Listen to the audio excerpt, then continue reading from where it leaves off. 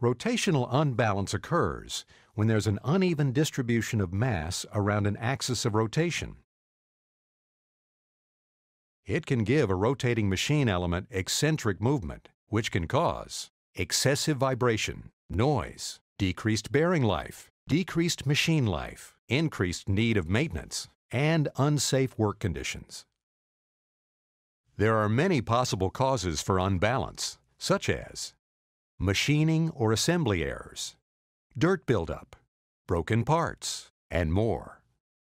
Similar to the process an auto mechanic employs to speed balance the tires of a car, rotating machinery is balanced by either adding weight to the light spot or removing weight from the heavy spot.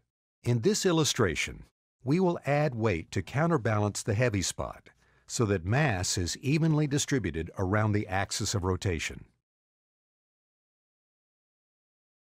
In order to correct rotational unbalance, you must know two things.